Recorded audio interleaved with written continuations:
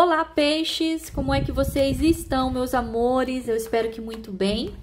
Aqui é a Patrícia do canal Bem Carô. Sejam todos muito bem-vindos e bem-vindas. Vamos para mais uma leitura semanal intuitiva para Sol, Lua Ascendente, Vênus e Júpiter. Lembrando que é uma leitura geral, não vai ressoar para todos. Então pegue apenas o que for para você. O que não for, por favor, solta para o universo, pois pode servir para uma outra pessoa, certo? Gratidão infinita, gratidão espiritualidade. Espero só coisas boas vindas no teu caminho e na sua direção. Gratidão, gratidão, gratidão. Qual a mensagem para o signo de Peixes para esta semana? Caminhando para águas mais tranquilas. Um seis. Os enamorados e um seis de espadas eles estão dizendo que existe aqui uma escolha feita pelo coração que traz hum, a aproximação da pessoa amada. É como, eu não sei se é você ou se é a pessoa amada, mas alguém vai fazer uma escolha e essa escolha traz a aproximação dessa pessoa que você gosta para sua vida tem algum tipo de decisão que será tomada aí nas próximas semanas. E é uma decisão feita pelo coração. E essa decisão aproxima você da pessoa que você gosta. Eu tenho energia aqui de gêmeos. O que mais? Olha, um nove de copas, falando que um desejo profundo do seu coração vai se realizar. Mas aqui nós estamos falando de um desejo emocional. Algo relacionado à pessoa que você gosta, a pessoa que faz o seu coração bater forte. Isso se materializando, se realizando É como se uma história de amor se tornasse realidade, tá? Porque que a pessoa vai chegar até você, vai se aproximar de você, vai estar mais perto de você.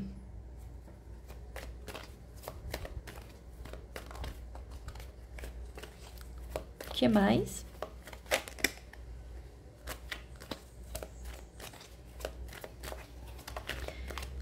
Que mais eu posso dizer para peixes sobre essa situação?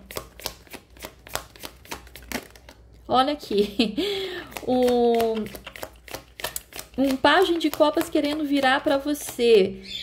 Isso significa a confirmação desse início emocional, o início uh, dessa história. A roda da fortuna trazendo uma virada de jogo. Ou seja, essa situação vai virar a seu favor. Roda da Fortuna também ela aproxima situações que estão longe, pessoas que estão distantes, geograficamente, é, emocionalmente, traz para perto.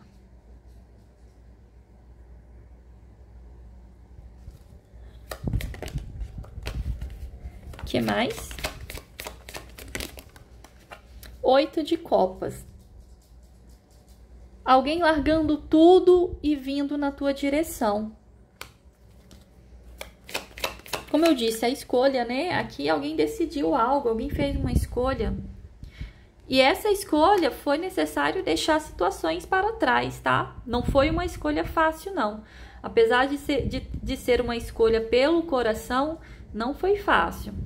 Houve aqui Uh, não, é, não, é, não foi um sacrifício, mas essa energia, essa pessoa teve que abandonar situações, cortar vínculos, abandonar situações, deixar algo para trás, para ir em busca do que realmente é importante, para ir em busca daquilo que traz a sua felicidade. A última carta o início dessa história, o mágico. Mágico é a manifestação daquilo que eu desejo. Aquilo que eu desejo criar. Aquilo que eu desejo conquistar. Então ele traz o que? Ele traz esse recomeço. Essa pessoa se aproxima de você. Vem para perto. E aqui eu vejo uma história começando, tá? Essa pessoa vai se aproximar, essa pessoa vai estar mais perto e logo em seguida dá início